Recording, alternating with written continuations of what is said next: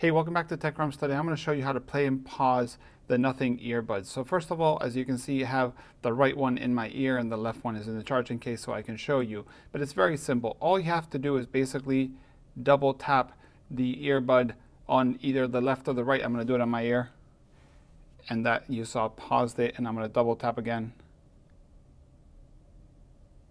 and that's playing it again. So that is how you play and pause. Of course, if you take them out of your ear and put them into their case, that will also stop them from playing because of course they're not in your ear. They have a detection of being in ear or out of ear. So yeah, that's how you basically play and pause the Nothing Ear one with a iPhone or device. Thanks for watching. Let me know if you want to see any other videos here on TechCrumbs.